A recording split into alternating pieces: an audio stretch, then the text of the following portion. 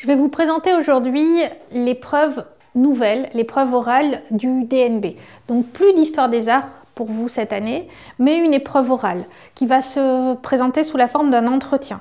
Un entretien de 5 minutes où vous allez devoir parler face à un jury, puis ensuite 10 minutes de discussion face à ce jury. Donc pour préparer cette épreuve, vous devez déjà choisir une thématique. Vous avez le choix entre 8 thématiques corps, santé, bien-être et sécurité, culture et création artistique, information, communication, citoyenneté, langue et culture de l'Antiquité, langues et cultures étrangères ou régionales, monde économique et professionnel, transition écologique et développement durable. Dans votre établissement, vous avez sûrement déjà travaillé sur des EPI qui rentrent dans ces huit thématiques. Donc vous pouvez tout à fait, pour votre épreuve orale, reprendre une thématique étudiée en classe et représenter un travail que vous avez déjà fait en classe. Vous pouvez aussi travailler sur ce thème-là, monde économique et professionnel, c'est-à-dire finalement sur votre rapport de stage que vous avez dû réaliser au cours de votre année de troisième.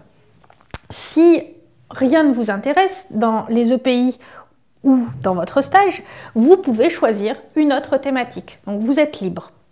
Quand vous allez arriver devant votre jury, euh, votre jury aura lu ou aura vu votre production finale. Vous lui aurez donné un dossier, vous lui aurez donné quelque chose en thème avec votre explication.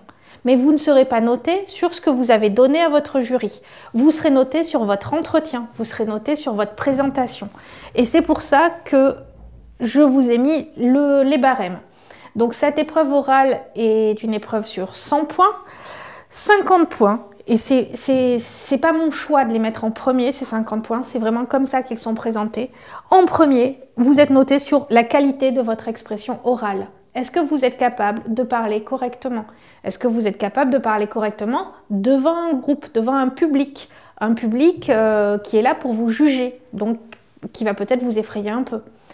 Donc il y a cette idée d'être capable de parler pour présenter son sujet, mais aussi d'être capable d'argumenter dans la deuxième partie de l'épreuve quand on vous posera des questions dans l'entretien. Et puis 50 points également sur la maîtrise du sujet. On attend de vous que vous soyez vraiment dans la thématique.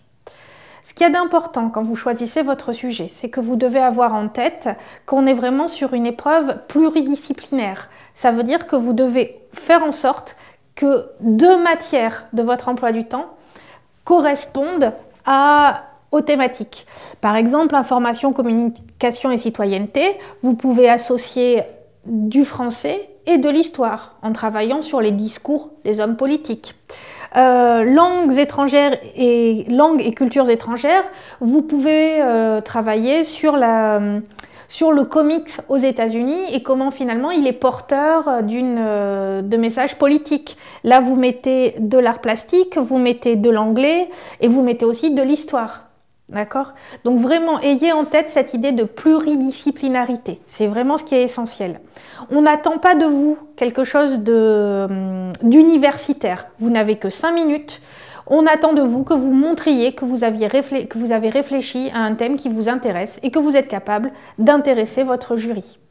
Soyez prêt à répondre aux questions, soyez, euh, soyez cohérent, soyez honnête aussi. N'essayez pas d'aller chercher des choses toutes faites sur Internet, ça se verra à l'entretien. Et, et du coup, vous voyez 50 points de maîtrise pour l'expression orale, pour la qualité de la communication.